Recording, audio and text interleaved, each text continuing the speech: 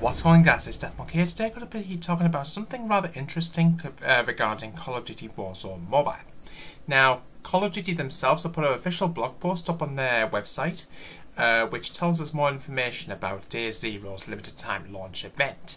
Uh, all the details, all the rewards that we need to know about, and of course about pre-registering uh, ready before launch on March 21st, or aka this Thursday at the time recording this video.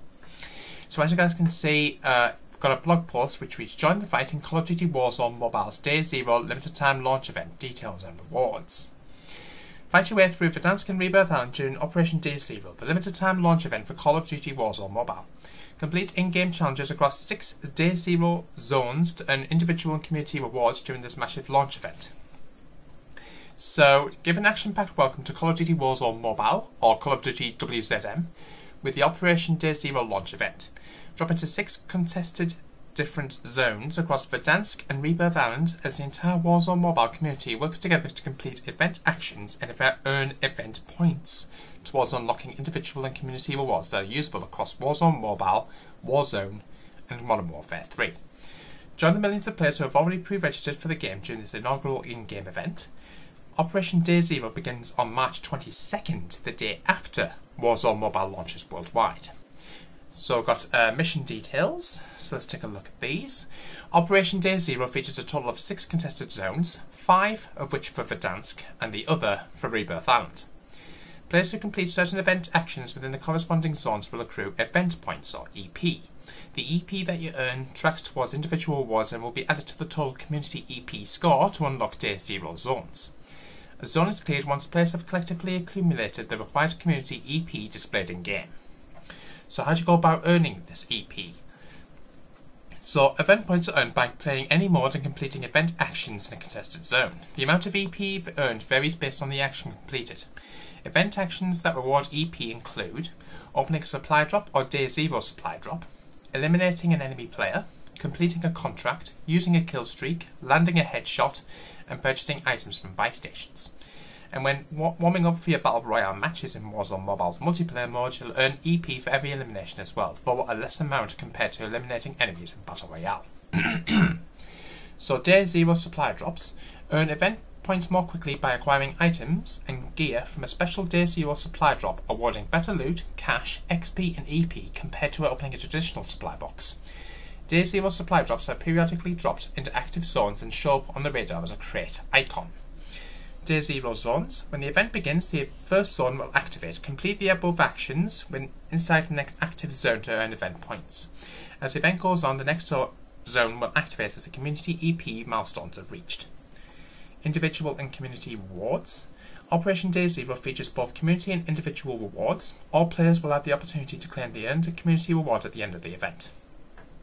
Individual awards are given based on the total number of event points they specifically contribute to the greater community total.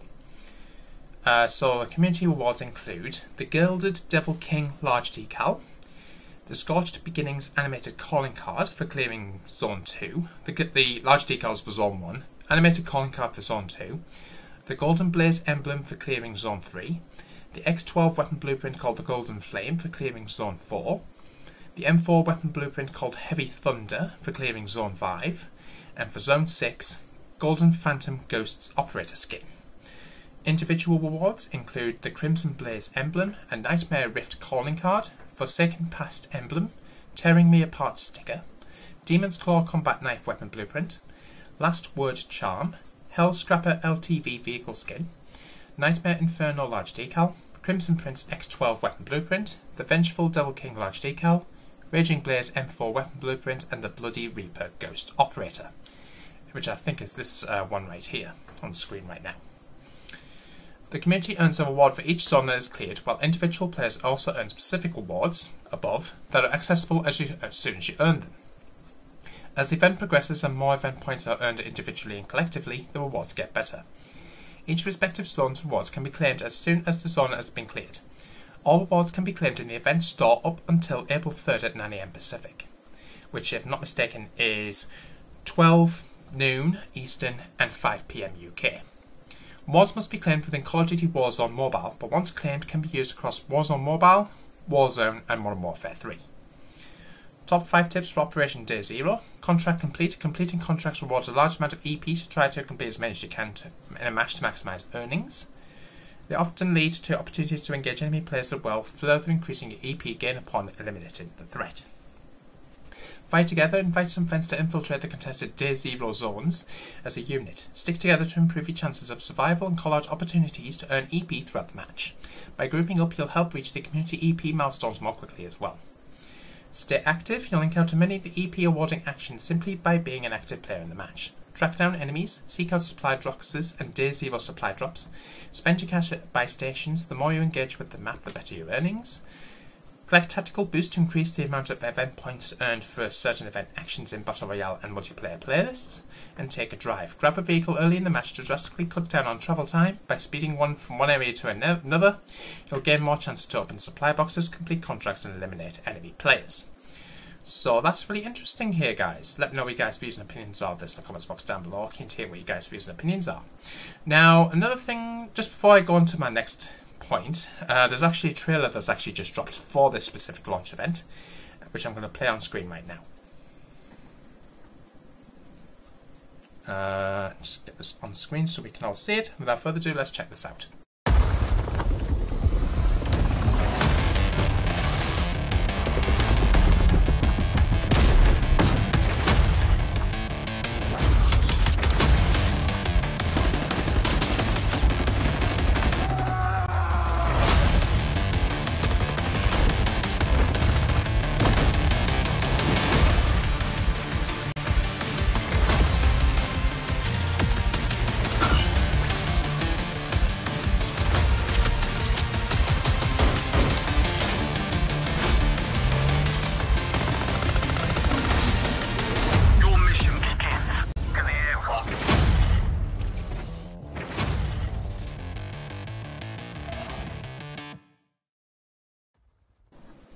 Okay guys, so I want to know what you guys' views and opinions are of that. Let me know in the comments box down below. I'm to hear what you guys' views and opinions are.